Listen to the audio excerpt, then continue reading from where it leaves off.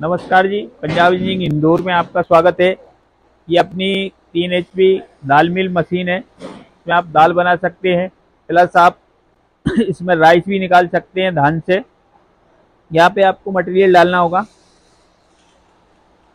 और यहाँ से आपका फाइनल मटेरियल निकलेगा। राइस बन के या दाल बनाना, आपको दाल बना सकते हैं। और जो भी उसका कचरा छिलका होगा, वो सारा यहाँ से निकलेगा। एक जाली इसके अंदर लगी हुई है और एक जाली एक्स्ट्रा आएगी साथ में और ये टूल किट साथ में आएगी। चालू करो शर्मा जी।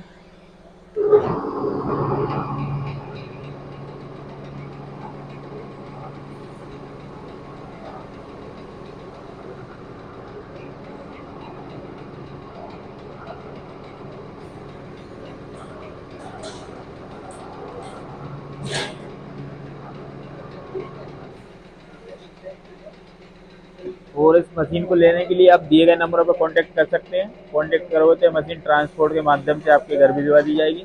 धन्यवाद।